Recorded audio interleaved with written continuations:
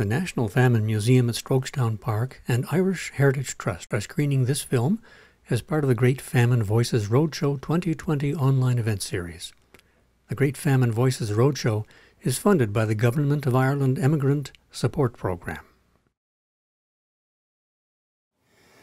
My name is Pat Paddy Reynolds. I'm the son of Paddy Reynolds. I was born in Birkenhead and so was my father, so was his father.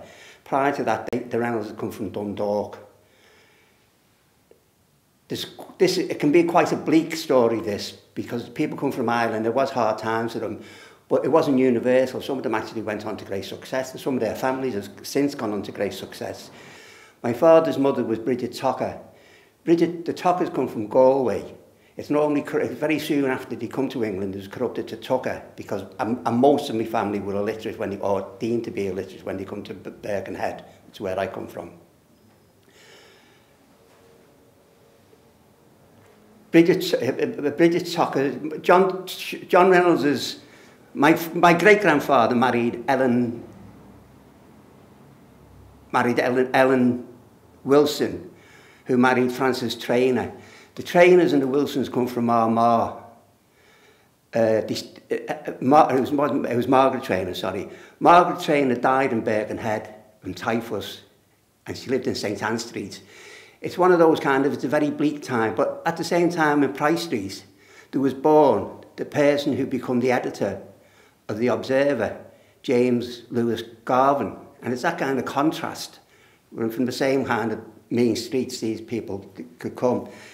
Francis Trainer, he died in Wakenhead Warehouse along with his four of his children. So that's the kind of the bleak side of it.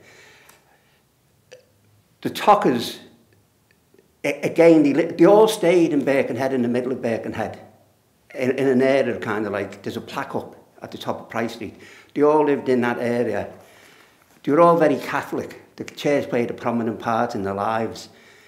Most there, are, there is a reference in the, in the books I've got from a, a thesis that was unpublished by a, a fellow who did an awful lot of work on it. And some of these streets were 90% Catholic. By the same token, the occupations were invariably dockers, or they went to sea as firemen stokers. Uh, on my mum's side, the Shaws, they come from Kildare. The first one of them to appear in the census in Birkenhead is in 1861 in, in Oak Street. Oak Street's kind of it's had a played a part in my family's history since that time. My mum and dad were both born in Oak Street, as was my dad's father. Oak Street has actually been prominent in my life, but it was also prominent in the history of Birkenhead. During the Garibaldi riots of 1862, an inhabitant of Oak Street, Henry Lennon, was actually charged. Henry Lennon, incidentally, was a Catholic, charged with assaulting an Irish policeman, Patrick Carney, who was also a Catholic. And funnily enough, at one stage, Patrick Carney also lived in Oak Street. Henry Lennon was deported to Australia And it, uh, from, my, from my research, he was innocent, he was just a stooge. But it's interesting that the Catholic Church played a prominent part in defending the rioters. Patrick Carney's two daughters, one of these coincidences, Patrick Carney's two daughters actually taught my mother. And one of, the son, one of his sons become a Catholic priest. So it's that kind of, you know, which side are you on here? Um, that was the that was the shores. My mum's mate, my mum's mother was a Bairns, and they come from Carlow. And that's the one I referred to earlier on, Bridget Bairns. She was always in trouble. She got tried twice for manslaughter in Bergen and never convicted. She finished up in the Ebers hospital in Bentley outside Bristol. Now it's interesting, gain the contrast. Bridget Bairns' cousin, David Kenny, was one of the founder members of the National Union of Seamen. He was one of the first councillors, Labour councillors in Birkenhead. He died during the 1911 strike in Liverpool, you reckon, because of the hard work. But he was a, an, an associate of Havelock Wilson, Tom Mann, etc., etc. Uh, and he often Peter, uh, David Kenny, not, not only was he kind of prominent in the trade union movement, he was actually a very prominent Catholic. Um, he was in the choir of St. Lawrence's. And I have visions of him walking down Watson Street, which is sort of and Birkenhead, on a Sunday morning after, being to go, after going to church, thinking, there's our Bridget drunk again. But going back to Oak Street, Oak Street had a terrible reputation. The church just adjacent to it was St. Lawrence's, a Catholic church, and they used to say Hail Marys on the hour for, for the inhabitants of Oak Street. And over time, they reckoned they repented. I don't much believe this, but they repented and they actually got a, a kind of a better reputation.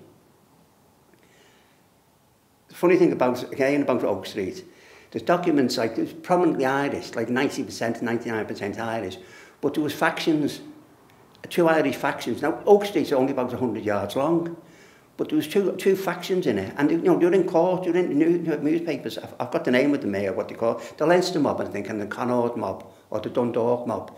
But there was that kind of factionalism. So it wasn't a kind of this, these unified people were all in the same boat. You, the, the commonality was you were all Irish, but you come from different counties. And I remember reading, like you say in, in, in, in court documents, like a woman's in court for calling someone a dumb dog looking bee. Oh, yeah, you can't all look and be. But it is that kind of, re a lot of references to, to different counties as you just remember, the Pact of Gothenburg and Head and Price Street, it's not so much Price Street that's the important place, it's the, it's the streets off them. And it's funny, you can get pictures of Price Street. It's very, very difficult to get a picture of a minor street. But just over the road from Oak Street, and literally over the road, was a place called School Place. When I was growing up, it was called School Place. It was next to Cath Cathcart Street School. But prior to that, they changed the name because the street had this terrible reputation. It was called Byram Street. That's where my maternal grandmother was born. Her mother, Bridget Burns, She, she, learned the she, she, she had a chaotic life. The children were put into, into, um, into care. You're actually in the warehouse. And my granny's sister, Daisy, and against her name is illegitimate bastard. Mother is jailbird. That's documented.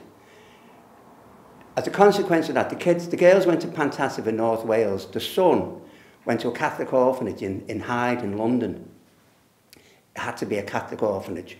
The Catholics didn't want the kids to go to Protestants, whatever, whatever. It's just one of them coincidences. Um, Elvis Costello, his great grandfather, was in the same school as uh, Thomas Burns. Um, all that street, you go, you, you go see it. And for instance, in Pantassive, you think it must be lonely for the kid to go from the, the, from the middle of Birkenhead to, to the to the, to the lovely, you know, open countryside in North Wales. My granny never had a bad word for her. But funny enough, in, in, in, in the same time she was, there was about six or seven or even eight kids from the same street. Now, the street was only kind of, wasn't 100 yards long. So it was like, like basically going home. But it was that kind of like, you know, they, they were Catholics. They were deemed to be Catholics. But for instance, on Good Friday one time, they're all in court because you get rotten drunk on Good Friday. Well, in my childhood memory, Good Friday is one of the worst days of the year. You couldn't do anything. But it's that kind of not nominal Catholics. And, you know, there are references, to, as I just explained, to the, the people, the, the, the church praying for the people in Oak Street.